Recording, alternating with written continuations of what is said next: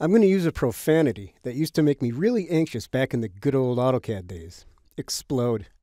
I'm sure the people working on this update made a conscious decision to avoid that word, but that's basically what we're doing. So let's do just that. Let's add a fitting, then break that sucker. In Revit, let's start a new model using the structural template.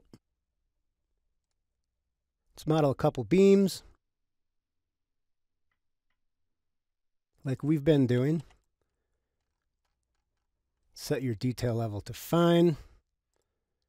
Change it to hidden line. Slow to clip. Click OK. Select connection. Clip angle.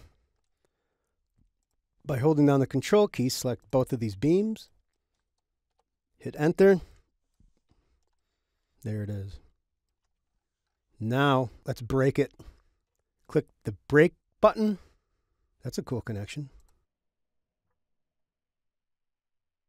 Now what we see is that Model Z's is all one part, but we'll see it essentially explodes it, but at least it keeps the intelligence of these items. So these are still bolts, and we can select them. We can still change them, but everything else has become detached and independent of one another. That was a quick, easy video, but that's how you essentially explode a fitting